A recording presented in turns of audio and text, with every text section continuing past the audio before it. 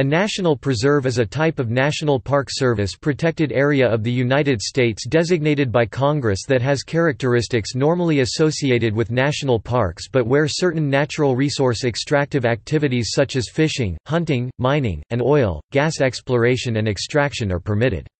The types of activities permitted in each national preserve varies depending on the enabling legislation of the unit.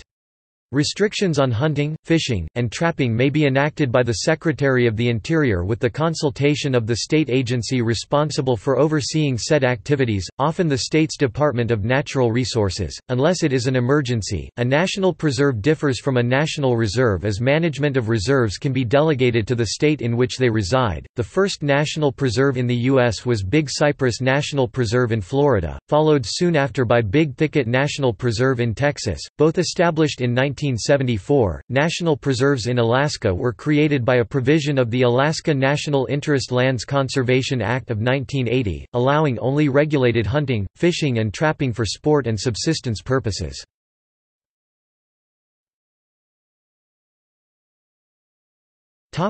See also